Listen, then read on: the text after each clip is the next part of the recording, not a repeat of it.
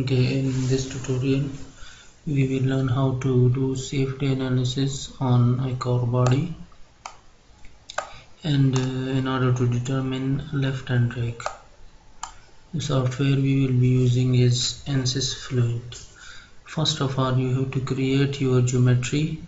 Uh, as I have created in Pro Engineers my car body. Now you have to save it in IGS format or step format so that it can be loaded or imported into ANSYS workbench. For example I save it in IGS format and uh, another thing you should um, keep in mind that all your files associated to your project that is the analysis on your core body the geometry file and ANSYS file should be in the same folder. Now as I connect save export IGS it means that you want to export surfaces solid shells or so I will select solids. Uh, this will be evident as we do our uh, analysis in Fluent. And the other thing is that uh, coordinate system export. We want to export our coordinate system also. So click OK. Now this is saved.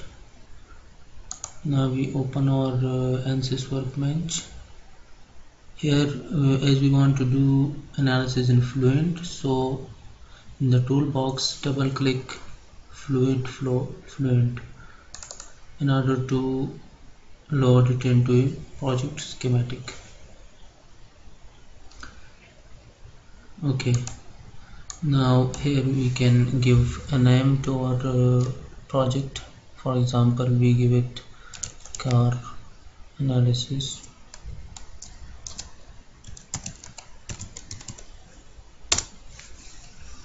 we will also save it in the start in the same folder where our imagery file is located.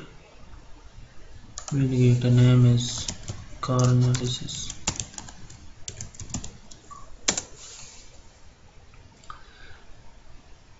now uh, if you want to do 3D analysis or 2D analysis you can select it from here. The, here is analysis type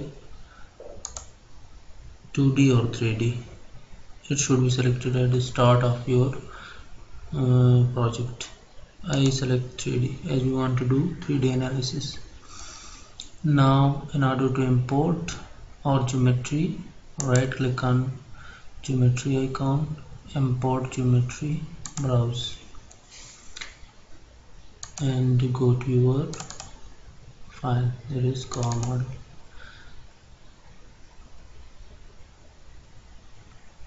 now double click to open design model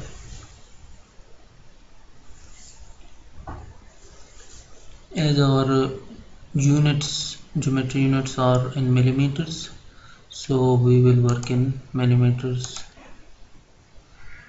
It is imported but in design modeler you have to complete each command by clicking the generate button. So when we click generate button it will be loaded here. Okay. So this is our car body.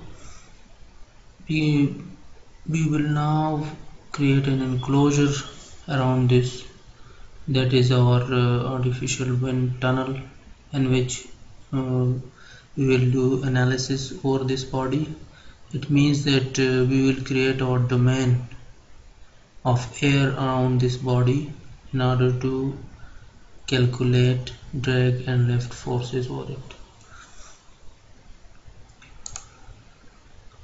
You can check it from here that um, it is a solid body and also here you can give it a name is car body so that you can uh, identify it easily over here.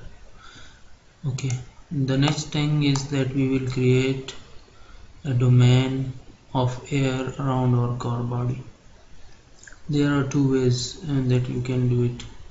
And uh, there are some problems that uh, occur in it the first way is that you create an enclosure around your car body. So first we will want to see where our coordinate axis lies. It is here.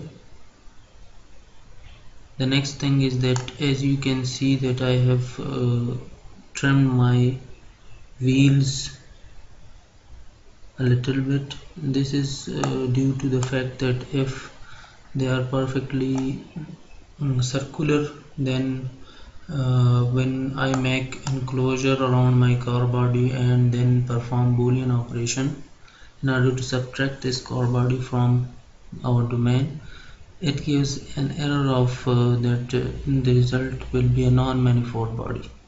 Non-manifold